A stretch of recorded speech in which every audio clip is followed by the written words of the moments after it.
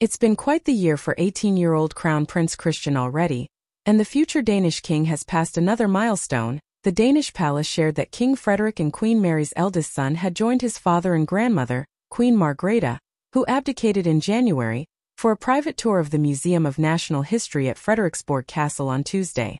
During the outing, Christian unveiled his coat of arms, which has been added to the wall of the chapel of the Royal Danish Orders of Knighthood in the palace's church.it comes just months after Queen Margrethe gifted her grandson Crown Prince Christian the Order of the Elephant Denmark's highest honor, on his 18th birthday on October 15, 2023.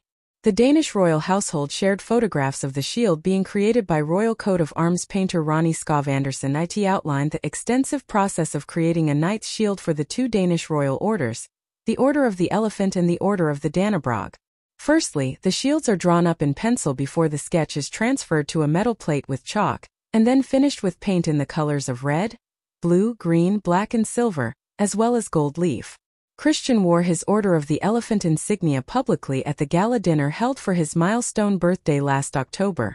The Crown Prince's younger siblings, Princess Isabella, 17, and 13-year-old twins, Prince Vincent and Princess Josephine, became recipients of the Order of the Elephant following their father Frederik's accession to the throne on 14 January. The laws dictate that the sons, and now daughters, of the sovereign of the orders are born members of the order, but they are not likely to be presented with the order's insignias until their respective 18th birthdays. Crown Prince Christian is in the final year of his secondary education at Ordrup Gymnasium in the northern suburb of Copenhagen. After finishing school, Christian may decide to go to university like his parents, and is likely to undergo military training like his father, Frederik.